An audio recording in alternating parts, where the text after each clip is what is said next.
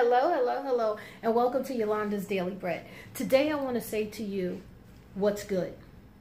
I want you to post in the comments below and tell me what's good. What's good with you today?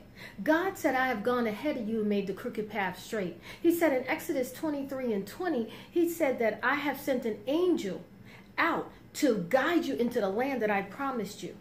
But I need for you not to rebel.